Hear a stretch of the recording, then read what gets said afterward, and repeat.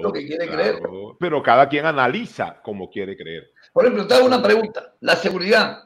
Loco, yo no voy a llegar al tema de que la seguridad se acabe el día que se acabe la pobreza. No, esa no la vamos a acabar nunca. Pero, ¿de qué sirve estos videos que están llenando todas las WhatsApp donde vemos a alguien que roba? Primero que no lo vamos a identificar por ese por esa vaina.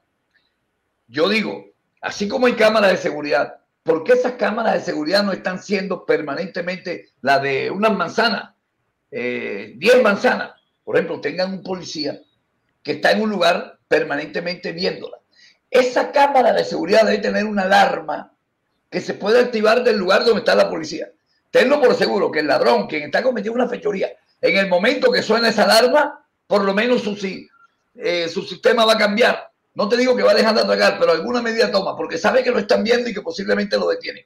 Por lo menos ahí sirven para algo. Pero para llenar videos de, las redes no sirve un carajo. ¿Sabe qué es curioso ese tema, doctor Barreto? Que creo que, la, digamos, ellos te lo venden, las autoridades te lo venden como hay más cámaras, entonces estamos mejor vigilados, entonces hay más seguridad.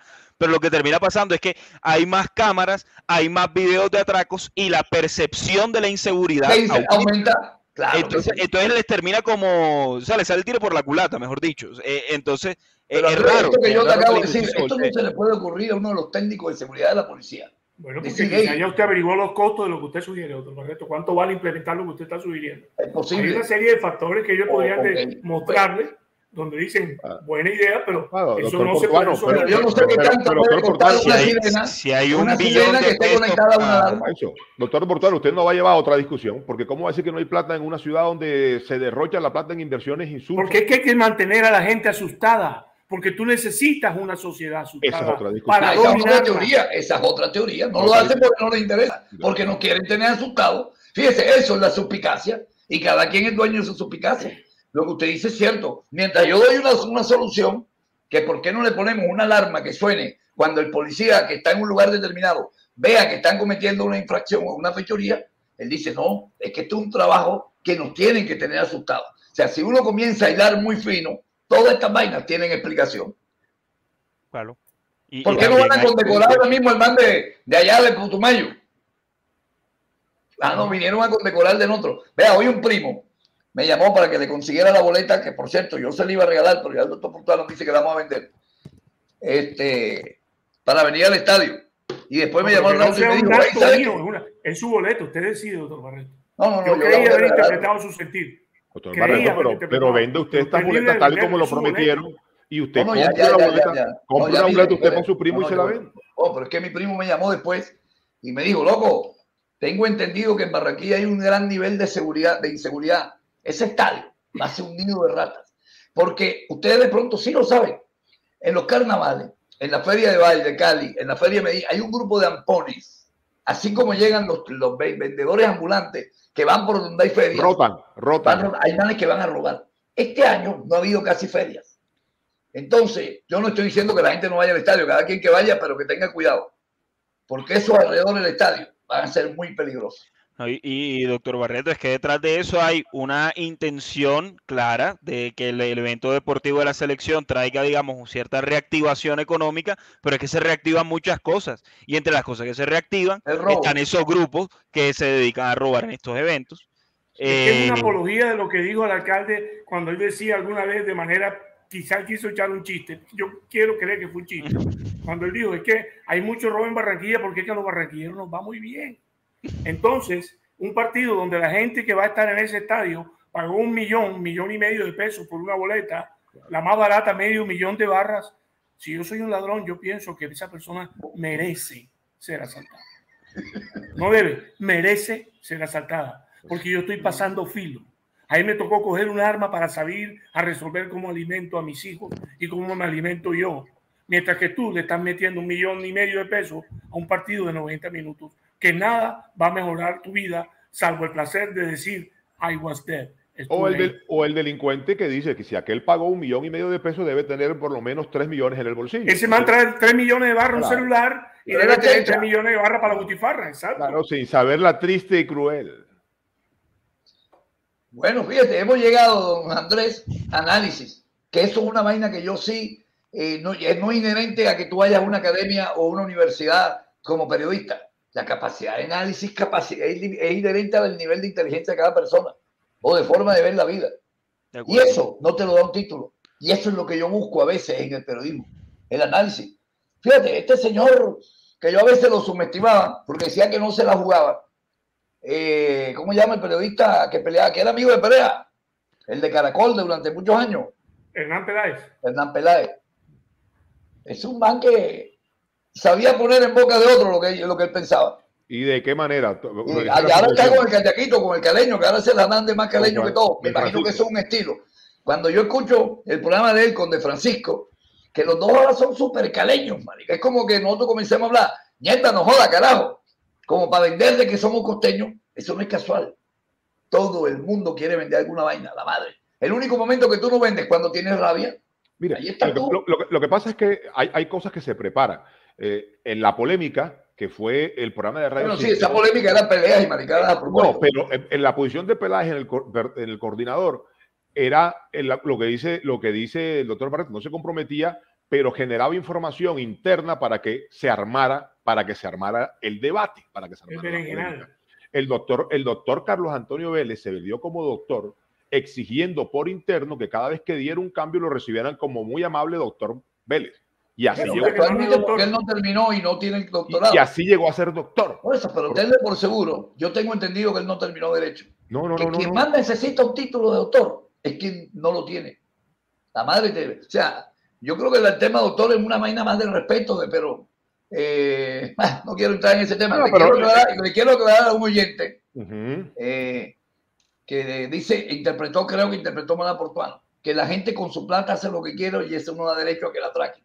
Portuano no está diciendo que da derecho a que lo atraquen. Portuano le está Estoy entrando mostrando la forma de ver de la persona del atracador. O sea, le aclaro a Eddie Guido, loco, me pongámosle un poquito más de, análisis a la vaina. Nadie aquí te ha dicho que tiene que ser atracado, que tenga.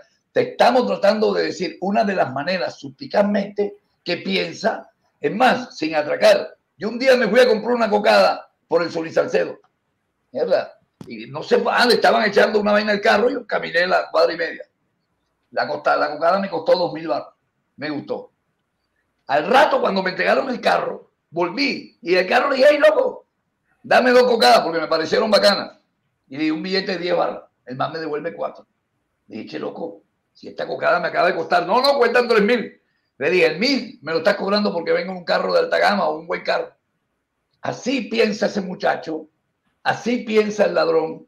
Entonces no es que ni él tenga derecho a cobrarme más a mí porque se suponía que yo iba en un buen carro, o que el ladrón tenga derecho a, a que haya que atracar al otro. No, le estamos haciendo una manera de ver de que por qué la inseguridad todo el mundo la interpreta de una manera diferente. Y el ladrón puede pensar que en Barranquilla, como el alcalde dijo que nos iba muy bien, puede pensar, eche loco, voy para allá. También todos, piensen, todos piensan en que son vivos y que todo lo están haciendo por viveza, pero terminan cayendo en ese tipo de cosas, doctor Barreto. O sea, de que como viene en carro, eh, en un carrito bastante elegante, yo tengo el derecho de cobrarle más porque es que, claro, le sobra la plata. Así como el atracador dice, no, es que hay que aprovechar, tenemos que ponernos vivos y tenemos que ser vivos ahora. Viene Colombia, va a jugar dos veces en el estadio, hay que estar ahí y hay que aprovechar. Y así lo ve, y así lo ve la gente. Y yo creo que todo eso, y disculpe caer siempre en algo que ya se ha convertido en un cliché, todo eso se soluciona con educación. Yo creo que el día que, no, que no pensemos así. Con educación, con comida por supuesto, el día, el día que no haya que, vivir de eso, que trabajar de eso, que ver en eso una oportunidad para robar y, y, que en robar esté la base de, tu, de tu supervivencia, eh, va a cambiar la cosa, pero si no hay educación. Bueno, les propongo que mañana jugamos a la, divina adivinador de la selección y, y que va a jugar y cada quien da su teoría. Porque, es más, yo no veo un programa de radio hoy de televisión porque son todos los mismas vainas. Oiga, ¿qué pasó con los mulos de, del Bronx, doctor Portuano, usted que lo vi muy emocionado con los Yankees. No, yo no estaba emocionado, yo quería que ganaran los Yankees por, por Urshela, así de franco soy con usted, doctor Barreto. Ah, y el pobre Manes perdieron, fuera Urshela después de que se reempujó de cabeza contra el, Dogao por coger un out. Pobre man se jodió la rodilla y todo, pero perdieron. Quedan dos colombianos, no sé en qué equipo, pero alcancé a leer un, un Twitter de Joe Marenco, que siempre lo sigo, Y él dice, loco, quedan dos colombianos, los dos son barranquilleros en la postemporada. Así que sigamos haciendo fuerza. Lástima que no mencionó quiénes eran los jugadores ni el equipo. Para un ignorante como yo, quedó en el aire, pero gracias. Creo que el profesor Pacheco Palacio está en la obligación de saber, él tiene una cara de beisbolero, Sí, sí, eh, sí. de saber. Esos manes de Santa Marta, esos manes son fútbol y marihuana. Ellos no. béisbol. y puro platanito ese verde con queso, ¿cómo se llama? El mamá. Cayeye. Usted tiene una pinta de comedor de cayeye y debe estar disimulando que está googleando rápidamente. No, no, estoy buscando los, los colombianos, debe ser Crisón y, Pa- eh, eh, y- Donovan Donovan Solano y Patiño, Y Patiño. decir Carlos Navarro que está en Chile, ¿te das cuenta? ¿De qué Gran equipos? back- ¿De Gran back central, Sol- Carlos Solano, Navarro. Solano es de los gigantes de San Francisco y Patiño es de los Tampa, Tampa Bay, Navy Tampa Rays. Bay Tampa Bay está en la final. Es el super favorito. Para muchos es el super favorito de ganar la Serie Mundial. Ese no fue el equipo con el que- donde jugó con Rentería el día que conectó. No, No, no. Ah, no, aquellos eran los delfines, los- ¿cómo llamaste? Disculpe. No, eso es los Marlins, de un equipo de Florida Marlins, Florida Marlins, Florida Marlins. de Miami. Sí. Sí. Le ganaron a los indios de Cleveland en el 97. ¿Año 98 o 97? 97, 97. Cuando se le pasó la bola a Omar Vizquel, yo dije ya que coronó. Se, se le pasó a Omar Vizquel, se le pasa a cualquiera.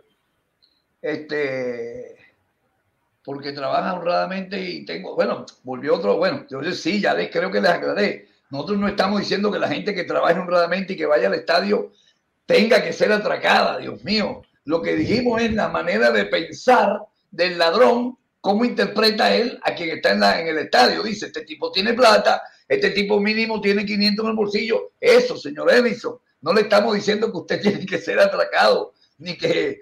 joda, lo voy No, al contrario, es buena la aclaración porque se evita esos malentendidos. No, no, Claro. pero es que yo, yo veo claro el le tema lo que Portuano. su opinión. Por- Portuano dijo, el, que- el, que anali- el que analiza, el que analiza como ratero, piensa que es posible por esto y por esto, o sea, Ahora. Wilson, aquí Dígame. hay otro comentario de Eric Guido, apoyo, primero que todo, la voy a quitar porque apoyo es con, difícilmente lo va a entender. Apoyo Pero- pero- con- Oye, con Y. U- Uno, un oyente dice, los, los más educados del país son los que más roban, que estoy de acuerdo, pero yo no sé qué tan educados son. Así es. Una cosa es que tengan educación, una cosa es que tengan educación, que sean educados yo creo que es otra cosa. Una vez que hayan ido a un colegio y les hayan dado No, claro, y es que siguen teniendo el mismo pensamiento, doctor Barreto. Así como el ladrón va a ver en el, en el, en el partido de eliminatorias de Colombia la oportunidad de robar, el corrupto ve en cada licitación la oportunidad de embolsillarse 70 mil millones de pesos.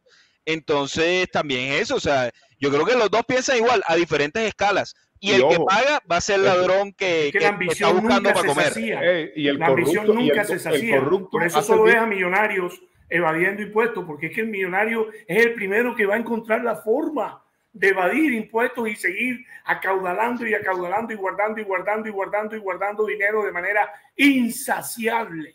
corrupto- Insaciable. El corrupto hace el mismo análisis que hizo A Portuano. veces no quieren dinero, a veces quieren poder. Muchas son dos cosas. cosas diferentes. Así es. Chino, ¿viste lo que está circulando hoy de la lista de las compañías eh, de, de, de parapeto que tienen los chats para evadir impuestos y las tienen en los, en los- en los paraísos fiscales? Pero no son solo los chats, son todos los millonarios. El presidente, llama- el presidente de Chile, un hombre millonario, de familia millonaria, está ahí metido en la, en la caja, en la Pandora. Y de hecho, hay muchos artistas que queremos. Shakira. Y que tenemos, y que tenemos Luis Miguel. Eh, Luis Miguel. En las llamadas fundaciones, su manera de aliviar. De evadir impuestos, claro. Todas esas fundaciones es para evadir impuestos. Es una cuestión inherente al ser humano. Ujú.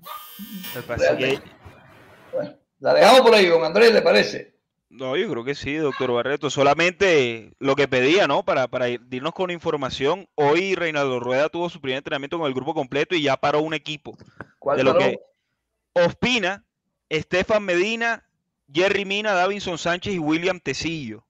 Línea de tres en la mitad del campo con Eder Álvarez Balanta, novedad, Wilmar Barrios y Mateo Uribe.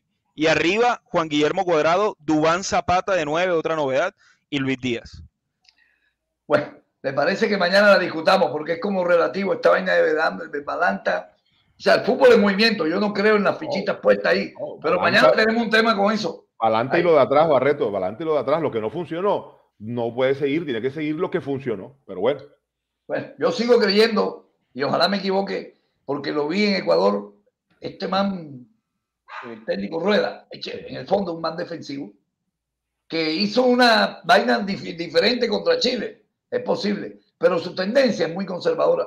bueno, Wilson Pacheco Palacio, ya tenemos ahí, parece que era un problema de la, ya no lo corrigió el control de, de la plataforma, ya aparece usted de la ciudad de Santa Marta, la bella y bonita ciudad de Santa Marta. Un abrazo a mis amigos Samario. Yo, al contrario del doctor Portano, pienso que ellos no se dedican al consumo del cannabis activa. Sí que hay un gran grupo debido a la cercanía del producto, cosa que usted no tiene cara de consumir, ¿no? No, no, jamás, jamás, doctor Barreto.